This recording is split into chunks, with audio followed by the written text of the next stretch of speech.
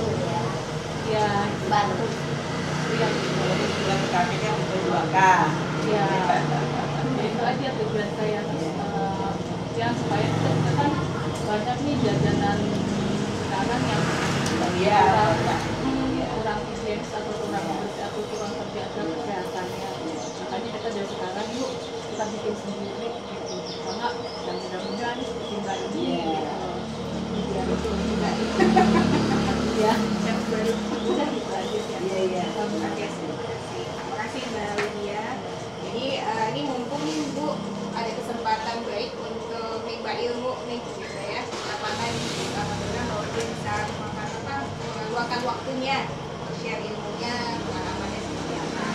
Pada kesempatan ini nggak cuma akan baca masak aja nih Bu. Jadi nanti kalau ada yang bertanya, tiap pertanyaan menarik ada hadiah menarik nih.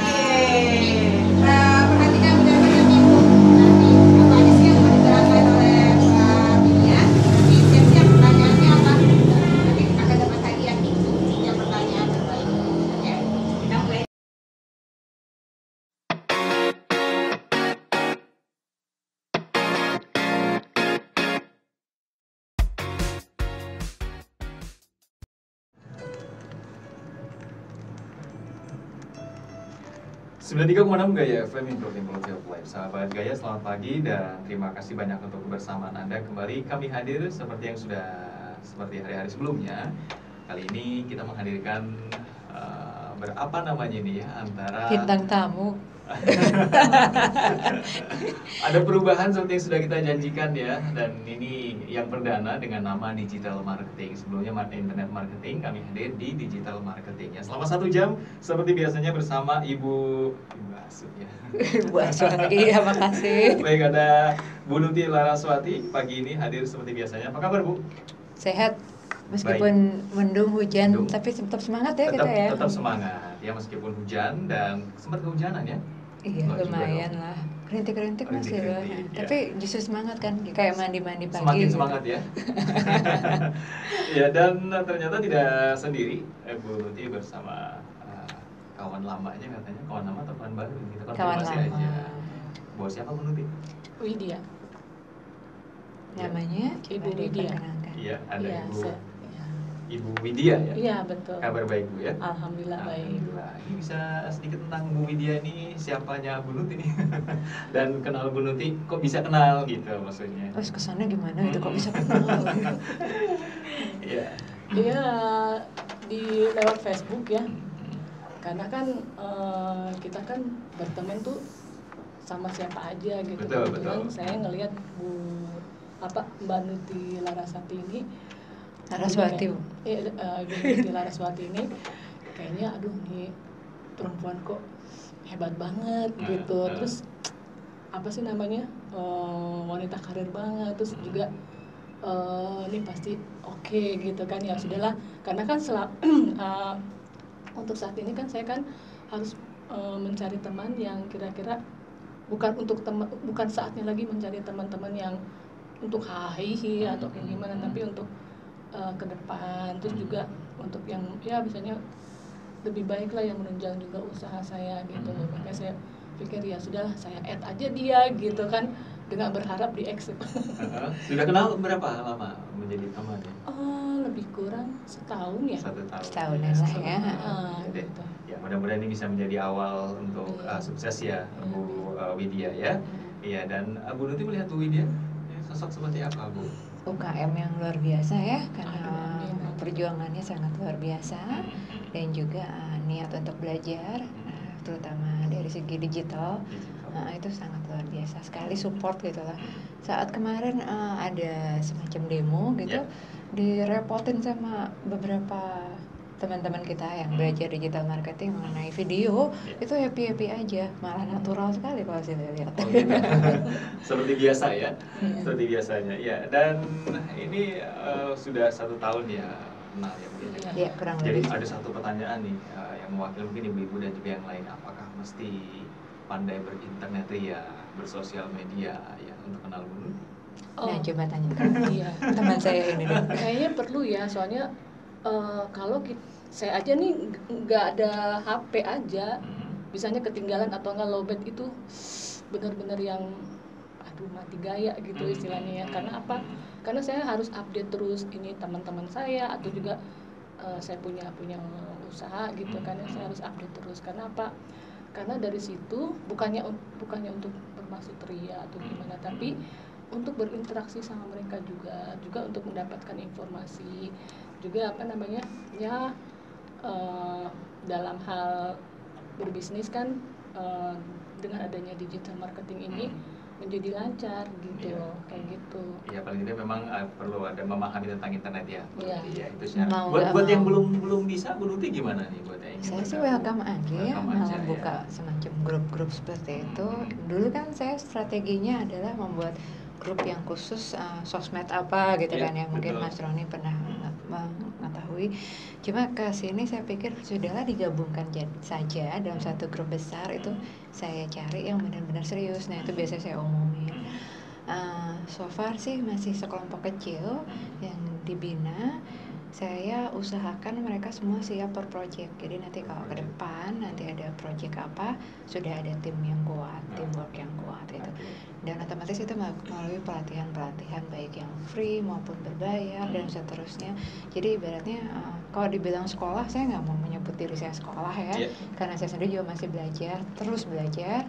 Tapi saya inginnya uh, di uh, apa yang namanya di digital marketing project ini orang-orangnya adalah yang benar-benar serius mendalami mengenai digital dan tidak pelit ilmu juga. Ya. Jadi kalau yang saya share ya mereka kalau Harus bisa ber- share berbagi lagi lagi ya lagi. seperti itu. Seperti Iya dan mudah-mudahan ini menjawab ya Bu ya karena ada yang merasa dikotak-kotakan gitu dalam artian tidak semua juga Aduh. orang yang yang bisa sosial media, tidak semua juga yang berbisnis itu tahu internet karena masih banyak seperti itu. Begini mas, dulu saya pernah membuka ke semua bahkan yang sampai yang tidak begitu tertarik dengan sosial media juga. Tapi dari situ nanti kelihatan juga alurnya bahwa uh, sebenarnya orang-orang yang memang uh, minatnya di digital marketing, digital media dan seterusnya itu akan uh, terus belajar. Ya. Tapi kalau enggak, mereka hanya ingin tahu kemudian setelah itu stop. Nah, saya terus terang agak lelah karena saya Ya. harus menjawab pertanyaan yang diulang-ulang aja betul, kan. Itu saja sih intinya. iya deh dan karena ini ada kehadiran salah satu eh, bisa dibilang praktisi UKM kali ya, atau apa lebih pasnya ke Bu Widya ini pelaku UKM kali ya Bu ya Pelaku UKM. UKM Pelaku, ya nah ini kita jadi angkat tema tentang mengenai bahaya tidaknya digital marketing bagi UKM ya Bu ya. Wah, Oke, serem ya judulnya ya. Bahaya atau tidak ya. Topik hari ini ya. Tapi nanti ya kita akan jawab semuanya. Kita akan kembali selepas yang berikut ini tetap di digital marketing. 93,6 Gaya FM Improving Quality of Life Sahabat Gaya masih di digital marketing. Masih ada Ibu Nuti Laraswati dan juga ada uh, pelaku KM Ini ada Ibu Widya. Kita akan berbagi banyak hal di sini berkaitan dengan uh, internet, sosial media Dan tentunya ini kita akan kaitkan dengan digital marketing. Jadi temanya sudah kita sepakati ya Ibu-Ibu ya. Ini temanya agak sedikit uh, bahaya ya Karena memang temanya yaitu uh, bahaya tidaknya digital marketing bagi UKM. Ini milih tema siapa nih? Berarti pasti ya. Ini yang latar belakangnya apa dulu nih? Saya mau tanya ini. Latar belakangnya saya Abang ingin- ada yang bilang bahaya atau tidak seperti itu? Em, bukan begitu mas kita kan kalau judul harus mencari yang menarik juga Betul. ya Oke, yang bisa jawab mungkin adalah pelaku UKM ya. Kalau kita kan selama ini adalah apa ya, ibaratnya yang memberikan Betul. eh, memberikan eh, input gitu. Ini digital marketing itu seperti ini seperti bagi UKM. Nah sekarang kita pengen tahu nih dari sudut pandang UKM-nya UKM gitu. sendiri ya. Nah, Bagaimana dan- Bu Widya? Iya, perlu juga ya. Eh, apalagi saya ada pengalaman teman saya. Eh, jadi dia punya foto, foto hasil karya dia, Ya. foto makanan gitu ya, foto kue-kue. Itu dicuri sama orang gitu. Jadi orang tersebut eh, mengakui kalau itu hasil buatannya dia gitu kan ya. Sampai dia istilahnya mendapatkan penghargaan dari apa di daerah dia di, di, di, di daerah dia tempat gitu ya tempat Dari pemerintahan ya. eh, mungkin dari pemerintahan Jawa Timur kalau nggak salah Iya. gitu. Nah sampai teman saya tuh kaget itu kan hasil ciptaan dia gitu ya punya dia itu foto-foto dia. Salahnya dia itu nggak pakai watermark Iya, gitu. watermark. karena kan katanya kata kalau pakai watermark eh, terhindar dari pencurian atau Betul. gimana gitu kan. Dia tuh nggak pakai. Dan saya dan saya dan teman-teman tuh tahu itu foto-foto dia bukan foto orang itu gitu ya. Ini hasil karya dia karena dia punya ciri khas gitu kan ya. Gitu makanya itu juga jadi pelajaran buat saya untuk lebih hati lebih hati-hati lagi kalau misalnya mau posting eh, hasil karya kita Produk ya? produk kita terutama. Jadi harus jangan lupa pakai watermark. Saya terus diingetin tuh sama teman-teman "Ah, lu nggak pakai watermark kok harus pakai? Gitu karena itu foto kita takutnya nanti diambil sama orang atau gimana dimanfaatin sama seseorang kita nggak tahu. Kadang saya suka suka karena keasikan pengen posting pengen buru-buru posting udah toto. Oh, Terlupakan oh, ya. terlupakan gitu nah terus buat saya sih eh, digital marketing ini penting banget terutama dalam mempromosikan usaha gitu kan. Jadi selama ini kan saya sebelum kenal sama media sosial waktu itu kan belum ada Facebook belum ada Sosial media. uh, sosial media lainnya. Saya kan memulai usaha tuh dari kecil-kecilan ya tahun 2005 itu belum kenal sama yang namanya Facebook tuh belum ada gitu akhirnya saya jualan itu masukin ke toko satu ke toko yang lain gitu kan. Kadang kadang ditolak kadang nggak laku gitu. Terus juga dari produk kuliner kuliner itu ya. Iya, terus eh, kadang juga dari mulut ke mulut sama teman-teman gitu kan. Tapi itu nggak nggak nggak ini nggak nggak begitu lancar, terus juga nggak mudah gitu kan ya. Nah sampai akhirnya akhirnya yang yang beli produk saya tuh ya kembali lagi ke keluarga gitu. Karena mungkin ya udah deh ini adik gue dipesen deh gitu kan kasihan juga nih kayak kayak gitu ya sudah akhirnya eh, pas tiba-tiba ada kayak Yahoo atau apa saya ikutan itu pun juga terbatas lagi karena eh Kemampuan. kem- oh, ya apa namanya eh susah lagi untuk masukin fotonya Hmm. oh mesti ada ada Caranya. caranya tuh agak rada Belum susah paham gitu ya, belum kan? paham juga gitu dan juga saya juga dulu gaptek banget gitu kan udah akhirnya gak lama kemudian saya dikenalkan sama teman ih ada Facebook. Gini gini Facebook tuh apa sih? Facebook. Face itu muka book tuh buku jadi buka buku. Hmm. apa sih maksudnya? Gitu. Terus akhirnya dikenalin ini caranya begini gini. Lo pokoknya eh, sign up dulu maksudnya daftar dulu gini gini. Udah ada diajarin sama teman-temannya cara posting begini gini berapa gini. berapa ya? 2000 10. Iya sekitar 2000 Sekitar eh 2010. 2009 deh 2009 ya. Ah, ah, gitu nah terus oh saya senang juga oh ini gini bener gampang gitu ya mudah terus eh, tapi waktu itu saya lupa lagi mau postingin foto apa, apa foto hasil karya saya yang saya potongin eh yang saya fotoin itu foto jalan-jalan nasis gitu ya Oke, biasa. Itunya saya lupain tuh hasil karya saya saya lupain. Nah, saya mulai aktif lagi. Eh, sempat sih sempat, vakum di Facebook ya, karena waktu itu HP sempat hilang. Terus juga masih jadul. Terus saya belum punya komputer, belum ada laptop. Jadi kalau ke mana-mana sewa apa? Eh, kalau mau ini ke warnet gitu kan. Dan di warnet itu juga kadang nggak kebagian tempat karena diisi banyak anak-anak ABG gitu apa segala macam. Jadi saya harus nyari ke tempat yang jauhan gitu, yang benar-benar nggak ada anak kecilnya deh karena saya butuh ketenangan. Nah terus eh, nggak lama kemudian nabung sedikit demi sedikit, terus juga apa akhirnya kebelilah handphone gitu kan, handphone yang lumayan dan segala macam. Baru dia tuh mulai nyadar, oh iya kayaknya untuk jualan nih harus pakai media sosial gitu karena kalau dengan dari mulut ke mulut terus dari eh, datengin temen datengin toko itu buang-buang waktu dan juga percuma gitu loh. Sementara saya pernah bawa hasil produk ke toko toko kue. Mereka nolak gitu kan. Ya udah akhirnya saya kasih sampel aja deh udah sampel. Tapi udahnya nggak ada lagi jawaban ada segala macam. Ke teman-teman gitu juga ah udah ada udah gini gini segala macam. Ya sudahlah sabar gitu. Nah sejak itu kata teman ya udah postingin aja foto. Mau foto zaman dulu kayak mau foto gimana kayak terserah so posting aja gitu ya udah ada saya bikin kue ke waktu itu nastar ya nastar kastengal waktu itu kan pas bulan puasa. Iya. nah itu uh, orderan datang dari kakak saya kan. Uh, aku pesen lima terus uh, nastarnya tiga atau segala macam gitu ya. Itu saya fotoin tuh gitu. Itu masih dalam kalangan keluarga ya yang pesen. Saya postingin terus tiba-tiba ada notification oh masuk gitu Iya. itu berapaan bu? Berapaan bu? Uh, berapa? Oh seneng banget. Gitu ah oh gini ya. Oh aku pesen dong. Aku pesen pesen. Oh di sini dia. Saya bilang oh ini dia. Oh beneran gitu kan. Ya udah semangat lagi Ya, gitu. Baik, dan nah, mungkin ini bagian dari eh, bahaya dan tidak dan pentingnya ya Bu ya. Iya. Kalau bahayanya mungkin mesti teliti ya dalam Iya. posting dan eh, manfaatnya adalah memang sangat dibutuhkan sosial media atau juga internet. Ke Bu Nuti, Bu ini melihat eh, fenomena ini bahwa eh, buat yang baru atau juga mungkin yang sudah sudah lama seperti Ibu tak luput dari kadang buru-buru ingin memposting tapi lupa gitu kan. Nah ini bagaimana caranya Bu agar tidak diakuisisi? Mungkin tadi watermark itu penting juga atau ada hal-hal lain tambahan yang perlu di- dilakukan sebelum kita memposting sesuatu agar tidak diakui oleh pihak lain. Ada sih yang selain watermark tuh ada yang namanya rename. Jadi picture Rename. kita tuh dikasih nama. Nah, ini yang identik dengan misalnya brandingnya apa bu? Sadia Kitchen Oke, jadi brandingnya di itu kan setiap kali di sa- save di file atau, atau komputer kan pasti kalau ibu ya. Nah itu kan ada biasanya uh, angka atau uh, huruf-huruf gitu kan? Nah itu kalau diganti di rename aja dikasih nama brandingnya ibu, kemudian baru diposting ke di Facebook. Itu nanti nanti bisa diganti atau tidak?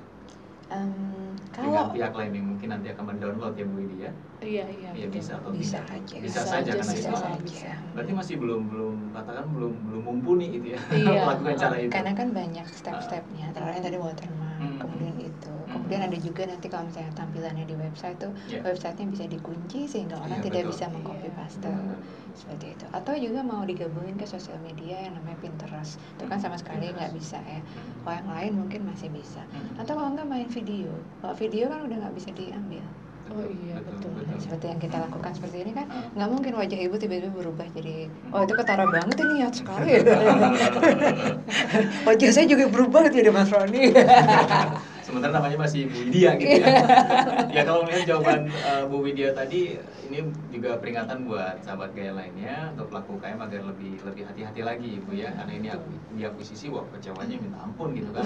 sampai nangis ya bu Tapi tadi sedikit eh, memberikan satu penyemangat juga buat sahabat gaya mungkin bahwa sosial media internet sangat penting ya Iya. untuk Banget, mempromosikan iya. yang namanya produk, apalagi itu bagian dari usaha bisnis keluarga ya Iya, kan. Ini sangat penting sekali. Melihat eh, seperti ini Bu Nuti ini eh, bagaimana Bu? Apakah memang sekarang ini sosial media itu nggak bisa dijauhkan oleh namanya bisnis UKM terutama ini? saya Anda bilang sih bagaimana?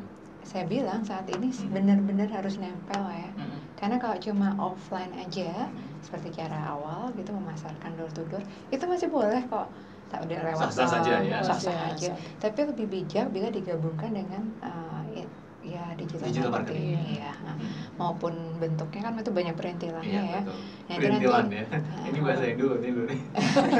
Perintilan pertama adalah lewat sosial media Facebook. Ini Iya. kalau udah lancar nanti itu step pertama Iya. lancar ya. Perintilan kedua nih kita lagi main video nih. Hmm. Udah ya. Itu termasuk juga branding buat uh. Bu Widya di sini. Nanti ada banyak step-stepnya. Makanya digital marketing itu luas sekali. Nah, mungkin Bu Widya uh, dari segi UKM ber- berpendapat kayak kayaknya saya udah dapat manfaat dari uh, sosmed Facebook aja deh. Mhm. Ya, itu baru kue kecil. Hmm. Kalau menguasai semua, deng deng.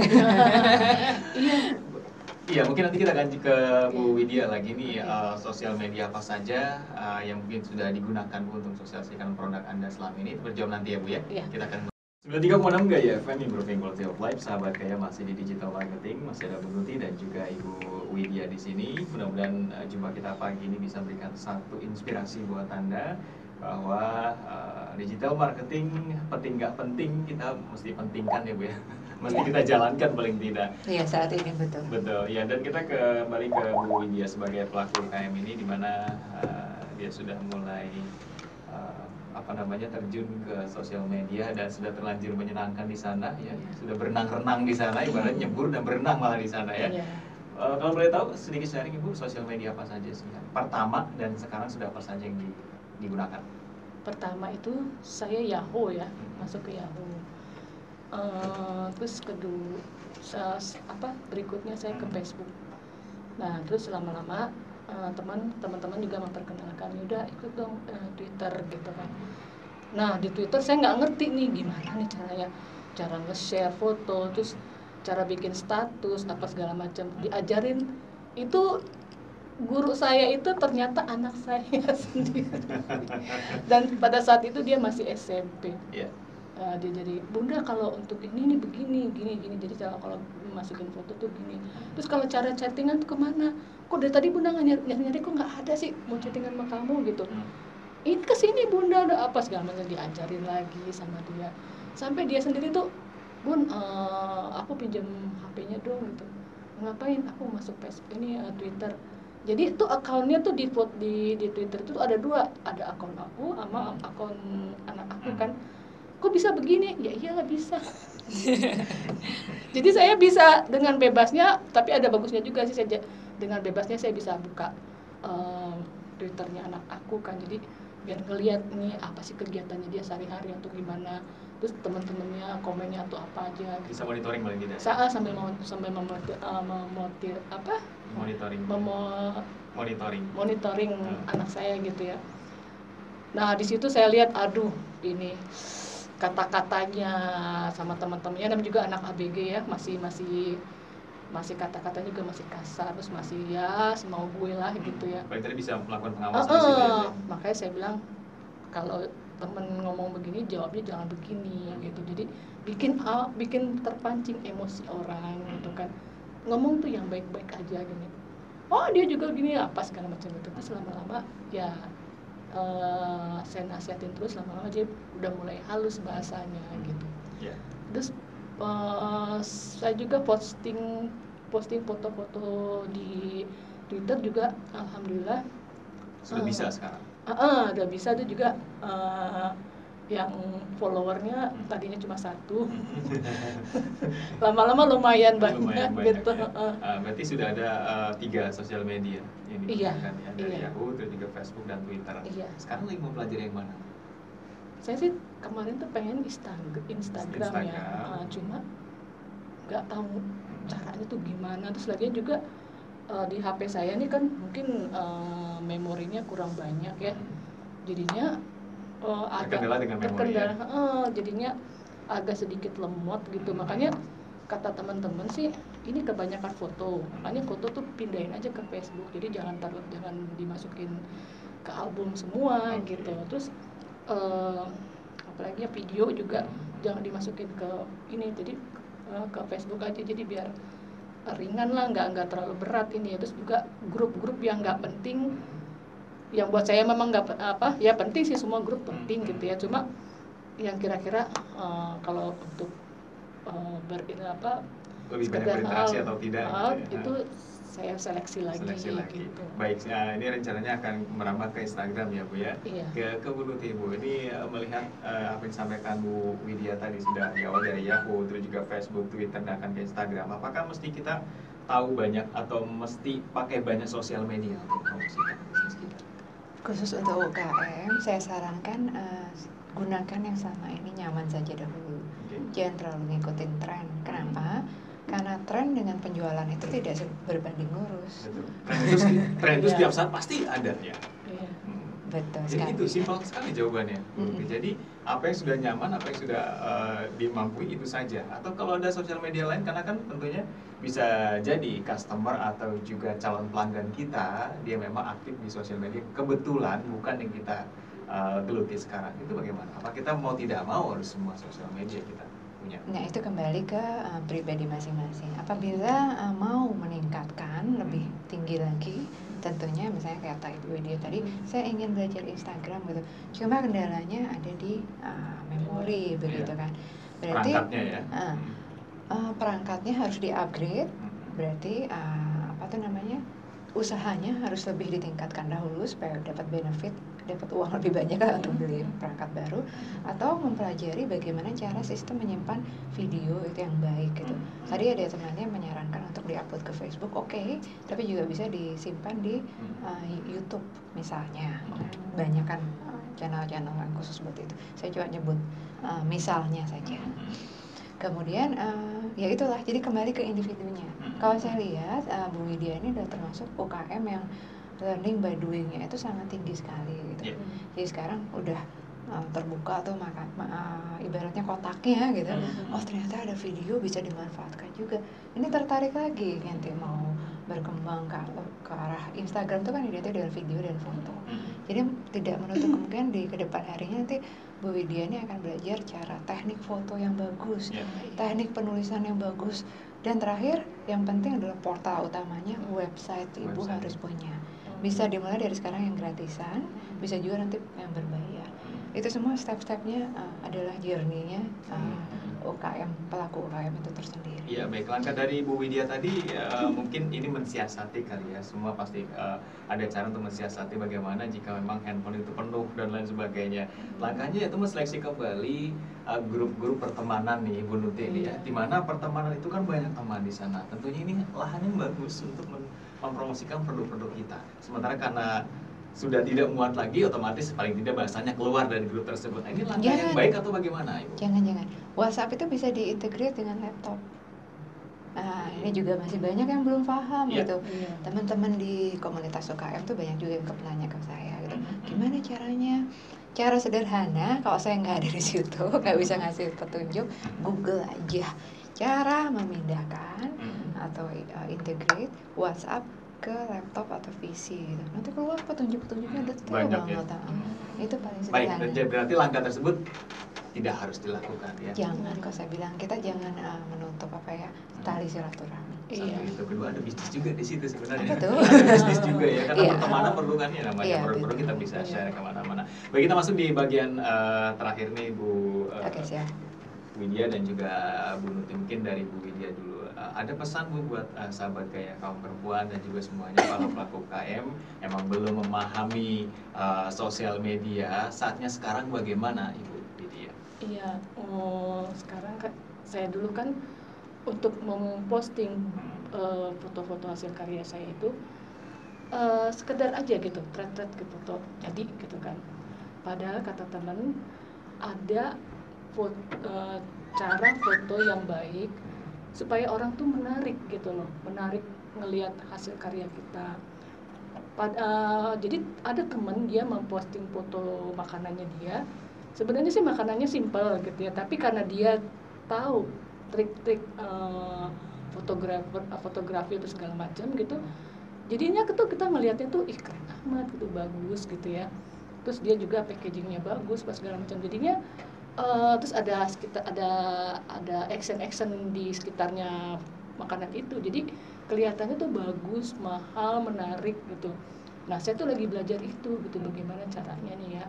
Misalnya dengan goreng tempe tapi ada action-action apa kayak batu-batu atau pasir-pasir. Jadi kelihatannya tuh bagus gitu loh hidup gitu kan. Nah itu saya lagi belajar itu. Nah sementara eh, apa yang saya pelajari itu biasanya foto-foto eh, makanan itu di, di shoot dari jarak dekat gitu ya. Terus eh, saya ambil satu aja satu satu jenis pot- em, apa eh, kue-kue itu yang misalnya yang saya sampai jelas-jelas tapi memang harus memang ada ada trik-triknya nah dan saya tuh paling terbatas hanya begitu aja gitu. Tapi saya usahakan untuk lebih bagus lagi gitu. Makanya saya lagi belajar terus-terus.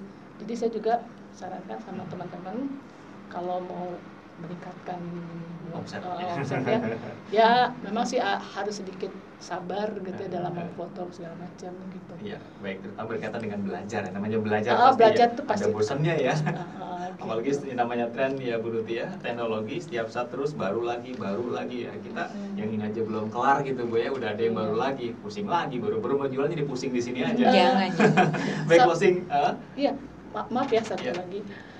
Saya pernah ya eh, foto makanan saya itu eh, diajarin sama teman gini, eh, gimana nih ya supaya di dasarnya ini dikasih alas tuh yang benar-benar bagus. Nah saya pernah tuh posting foto apa ya puding kalau nggak salah. Jadi di saya kasih alas ini kerudung kerudung warna hijau saya taruh Baik. situ terus atasnya tuh Hmm. atas tadi saya kasih warna hijau juga gitu ya terus makannya tuh saya taruh di tengah-tengah Hmm. pakai piring yang putih terus saya kasih action ini eh, butiran-butiran coklat gitu saya foto itu ternyata hasilnya bagus Baik, ini sebuah Heeh. saran yang luar biasa ya Bu ya. Iya, iya. Baik, closing statement Bu Nuti mungkin dengan tema kita eh, pagi ini mungkin lebih bijak lagi menggunakan sosial media atau bagaimana dengan tema kita. Intinya sih eh, dari segi apa ya negatif tadi kan Hmm. judulnya ada Betul. tema kejahatan aja udah serem banget nah itu sebenarnya semua bisa ditangkal asal kita mengetahui tips dan triknya ya bu ya Iya, Nah, betul. nah itu aja sih intinya Betul. jadi teman-teman kalau misalnya mengalami suatu kejadian di dunia uh, online Mhm. jangan dimasukin ke hati tapi Iya. kita cari solusinya itu aja deh Betul ya, karena kita berhadapan dengan orang yang tidak ada di depan ya, Iya. dengan user-user yang kita- kita tidak kenal. Baik, terima kasih Bu Nuti untuk hari ini. Sampai ketemu lagi Rabu depan ya Bu ya. Bu Oke. Lydia sukses Bu ya. Terima Mudah-mudahan makin makin pandai dan sigap Amin. menggunakan sosial media Amin, ya. iya. Terima kasih. Demikian tuntas sudah sahabat di digital marketing yang hadir setiap Rabu jam 9 sampai dengan jam 10. Dan jangan ke mana-mana saat lagi hadir kembali Headline News Gaya FM dan juga Gaya Inspiring Moment kita pada pukul 12 siang. Selamat pagi, sukses